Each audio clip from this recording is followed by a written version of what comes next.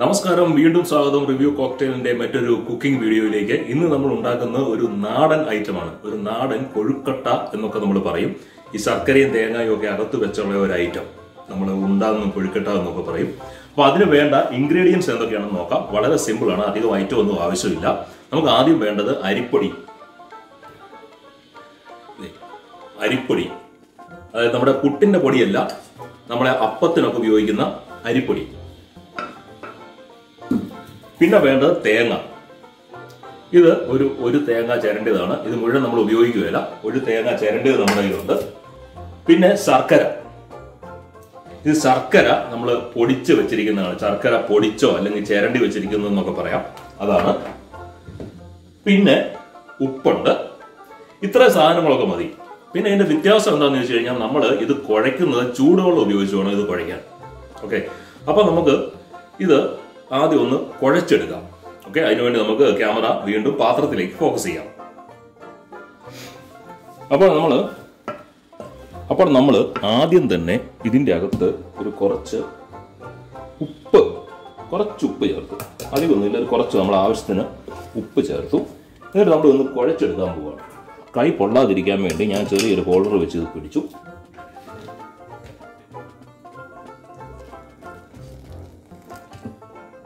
നമ്മൾ കുറച്ച് ചൂടുവെള്ളം ഒഴിച്ച് ഇവനെ ഒന്ന് കുഴച്ചെടുക്കണം. നമ്മളിങ്ങനെ ആവശ്യത്തിന് വെള്ളം ഒഴിച്ച് വെള്ളം കൂടി പോകാതെ ആവശ്യത്തിന് വെള്ളം ഒഴിച്ച് ഇങ്ങനെ ഒന്ന് കുഴച്ചെടുക്കണം ശരിക്കും.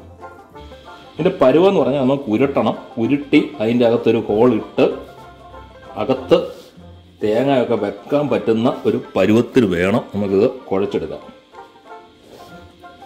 ഇതായിട്ടില്ല.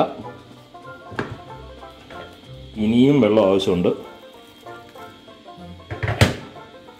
നമ്മൾ എടുത്തിരിക്കുന്നത് അര കിലോ അരിപ്പൊടിയാണ്. പാക്കറ്റ് അരിപ്പൊടി വാങ്ങിച്ചതാണ് അര കിലോ. കാരണം ചൂട് കാരണം നമുക്ക് കൈയിട്ട് കുഴയ്ക്കാൻ ബുദ്ധിമുട്ടായ കാരണമാണ് ഞാനൊരു തടിയുടെ ഒരു ചെറിയൊരു തവി കൊണ്ട് കുഴയ്ക്കുന്നത്. ഒരു ശകലം എഫേർട്ടുള്ള ഒരു പണിയാണ്. പച്ചവെള്ളമായിരുന്നു നമ്മൾ കൈയിട്ട് നമുക്ക് പടയെന്ന് കുഴച്ചെടുക്കായിരുന്നു. ഇത് ചൂടുവെള്ളത്തിലായ കാരണം കുറച്ച് ബുദ്ധിമുട്ടിയാണ് നമ്മളിത് കുഴച്ചെടുക്കുന്നത്. നമുക്ക് ഉരുട്ടാൻ പറ്റുന്ന പരുവത്തിനെടുക്കണം. ഏകദേശം നമ്മൾ കുഴച്ച് അത് റെഡി ആയിട്ടുണ്ട്. അതിന്റെ പരുവം എന്ന് പറഞ്ഞാൽ ഇതാണ്. നമുക്ക് ഇങ്ങനെ കൈകൊണ്ട് എളുപ്പം ഉരുട്ടാൻ പറ്റണം. ഉരുട്ടിയിട്ട് ഇങ്ങനെ ഒരു പൊത്തിട്ട് അതിന്റെ അകത്ത് വെക്കാൻ പറ്റണം ആ പരുവത്തിൽ. അപ്പോൾ നമ്മൾ എന്താണ്? അരിപ്പൊടി നമ്മൾ കുഴച്ച് റെഡിയാക്കി ഇനി അടുത്ത വേണ്ടത് നമുക്ക് ഇതിന്റെ അകത്ത് വെക്കാനുള്ള തേങ്ങ റെഡിയാക്കി എടുക്കാം.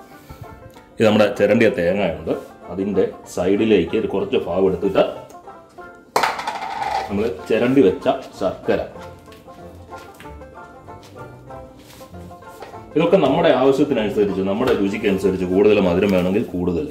എന്നിട്ട് ഇതും കൂടി ഒന്ന് മിക്സ് ചെയ്യും.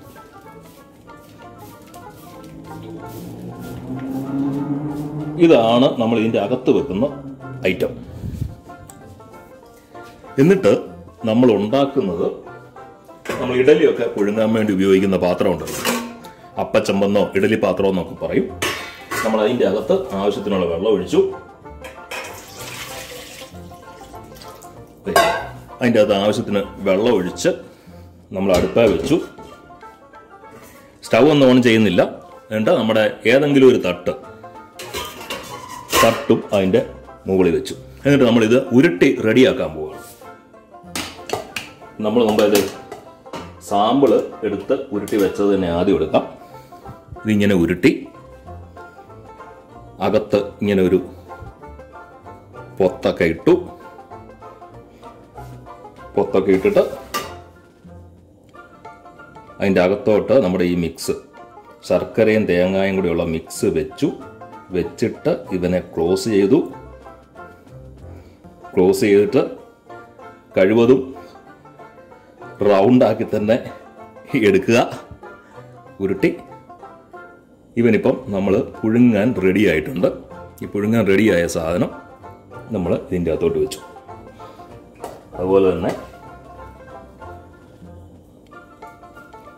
വീണ്ടും എടുത്തു. ഇതിന്റെ വലിപ്പവും അളവൊക്കെ ഒരു കൈക്കണക്ക്. ഏഹ് നമ്മൾ ഏത് വലിപ്പത്തിലുള്ള വേണം അതനുസരിച്ച് വെച്ചു. കുഴിയുണ്ടാക്കി.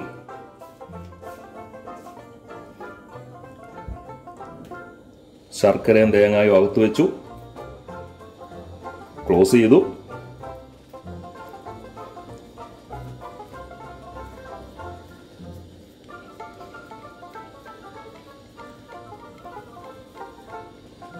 ഉരുട്ടി വെച്ചു. ഇതിന്റെ ഈ പുറത്ത് പറ്റിയിരിക്കുന്നുണ്ടോ അത് പൊട്ടിയതല്ല. നമ്മുടെ കയ്യെ പറ്റിയ തേങ്ങ തേങ്ങയല്ല ശർക്കരയുടെ പീസൊക്കെ അതിന്റെ പുറത്ത് പൊട്ടി പറ്റിയിരിക്കുന്നേ ഉള്ളൂ. അല്ലാതെ അതിന്റെ അകത്തെ ഗ്യാപ്പിൽ കൂടെ പുറത്ത് വരുന്നതല്ല കേട്ടോ. ഇനിയും നമ്മുടെ ഇതിൽ മാവ് മിച്ചമുണ്ട്. അതാണ് ഞാനൊരു കുറച്ചുകൂടെ ബാക്കി ഇരുന്ന ആ തേങ്ങായും കൂടെ ഒന്ന് ശർക്കരയായിട്ട് മിക്സ് ചെയ്ത് ബാക്കിയും കൂടെ ഉരുട്ടാൻ പോവാണ്. ഇത് നമുക്ക് ഒരു സ്നാക്സ് ആയിട്ട് ഉപയോഗിക്കാം. വേണമെങ്കിൽ ബ്രേക്ക്ഫാസ്റ്റിന് ഉപയോഗിക്കാം. വളരെ എളുപ്പം. അതായത് ചൂടുവെള്ളം ഒഴിച്ച് കുഴയ്ക്കുന്നതിന്റെ ഒരു ബുദ്ധിമുട്ടേ ഉള്ളൂ. ബാക്കി എല്ലാം എളുപ്പമാണ്.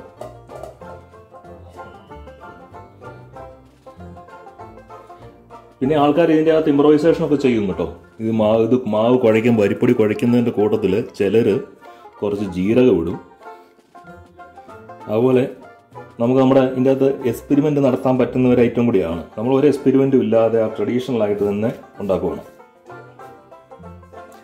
അപ്പം നമ്മളിവിടെ അര കിലോ അരിപ്പൊടി കൊണ്ട് നമ്മൾ മറ്റേ പടത്തിൽ ശങ്കരാടി ചേട്ടൻ പറയുന്ന പോലെ അര കിലോ അരിപ്പൊടി കൊണ്ട് ഘടാഘടിയന്മാരായ പതിനേഴ് കൊഴുക്കൊട്ട റെഡിയാക്കിയിട്ടുണ്ട്. ഇനി ഇതൊന്ന് വേവിച്ച് എടുക്കണം.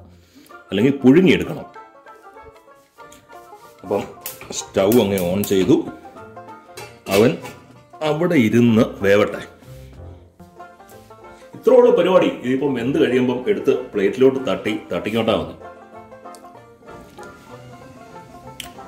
ഇപ്പൊ ഏകദേശം ഒരു പത്ത് മിനിറ്റോളമായി.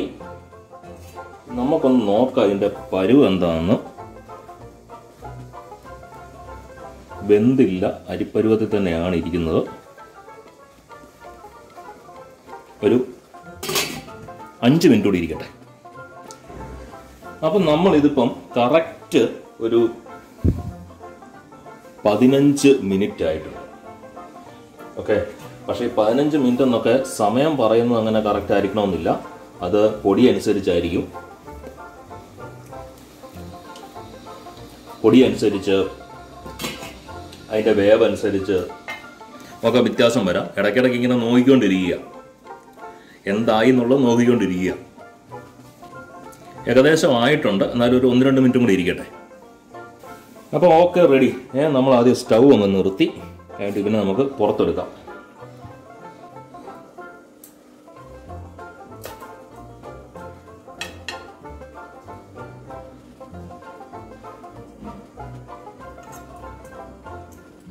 അപ്പോൾ നമ്മളുടെ കൊഴുക്കട്ട നിർമ്മാണം വിജയകരമായി പൂർത്തിയാക്കിയിരിക്കുന്നു. അതിന്റെ ഇടയ്ക്ക് ഞാൻ ഒന്ന് രണ്ടെണ്ണം ഒന്ന് പൊട്ടിച്ച് വെച്ചതാണ്.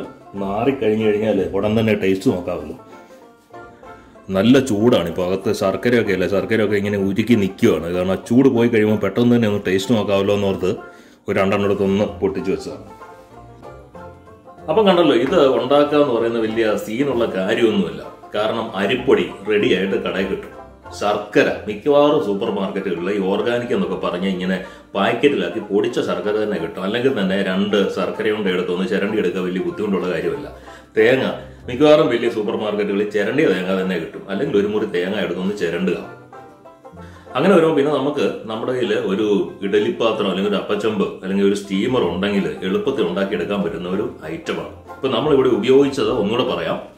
അര കിലോ അരിപ്പൊടിയാണ് ഉപയോഗിച്ചത്. ഞാൻ ഒരു തേങ്ങ ഉപയോഗിച്ചു. കാരണം ചെറിയ തേങ്ങയായിരുന്നു. അത് ഉള്ളൊന്നും ഇല്ലാത്ത തേങ്ങയായിരുന്നു. അല്ലെങ്കിൽ വലിയ തേങ്ങയാണെങ്കിൽ ഒരു അരമുറി തേങ്ങ മതി. അതൊക്കെ കൊണ്ട് നമുക്ക് എളുപ്പത്തിൽ വീട്ടിലുണ്ടാക്കാം. ബ്രേക്ക്ഫാസ്റ്റിന് ഉപയോഗിക്കാം. വൈകുന്നേരം സ്നാക്സ് ആയിട്ട് ഉപയോഗിക്കാം. അങ്ങനെ ഒരു ഐറ്റമാണ് അപ്പോൾ നമ്മുടെ ചാനലൊക്കെ ഒന്ന് സബ്സ്ക്രൈബ് ചെയ്യുക. ചാനലിന്റെ ഒക്കെ യു ആർ എസ് ഡിസ്ക്രിപ്ഷനിൽ കൊടുത്തിട്ടുണ്ട്. മറ്റുള്ളവരുമായിട്ടൊന്ന് ഷെയർ ചെയ്യുക. അപ്പോൾ വളരെ രുചികരമായ കൊഴുക്കട്ടയ്ക്കൊപ്പം തൽക്കാലത്തേക്ക് ഇവിടെ വാങ്ങുന്നു. മറ്റൊരു വീഡിയോയുമായിട്ട് ഉടൻ തന്നെ വരാം. നന്ദി. നല്ലത് വരട്ടെ.